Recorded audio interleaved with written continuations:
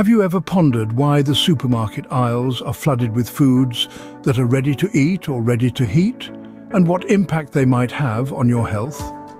Well, these are what we call ultra-processed foods, and they account for a staggering 70% of grocery store items in the United States. From the Harvard T.H. Chan School of Public Health, we hear that these ultra-processed foods are an urgent public health issue they are linked to a myriad of health problems, according to Jerold Mande, an adjunct professor of nutrition at Harvard Chan. The need for government action, increased investment in nutrition research and regulation of promotion of these foods has never been more critical.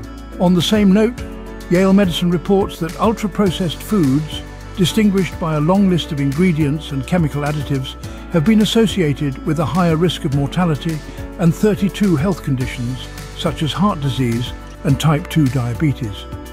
The impact of these foods on health, although not definitively understood, is concerning.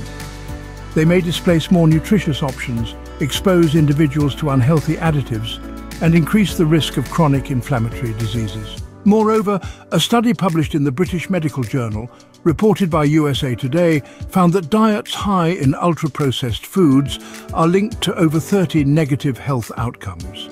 These include mental health disorders, cardiovascular disease, type 2 diabetes, obesity and even early death. This study, conducted by researchers from Deakin University and Johns Hopkins Bloomberg School of Public Health, involved nearly 10 million people and underlined the need to improve dietary habits. While these studies do not establish causation, they suggest a strong association between ultra-processed food consumption and various health risks. Therefore, it is imperative to pay attention to nutrition labels and ingredient lists when selecting foods. Prioritize whole, nutritious choices over ultra-processed options.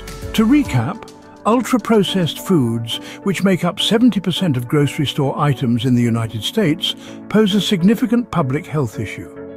They are linked to a range of health problems, including higher risk of mortality, various chronic diseases, and mental health disorders.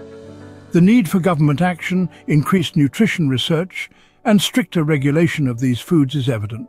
Always remember, your health is in your hands and it starts with the choices you make in the supermarket aisles.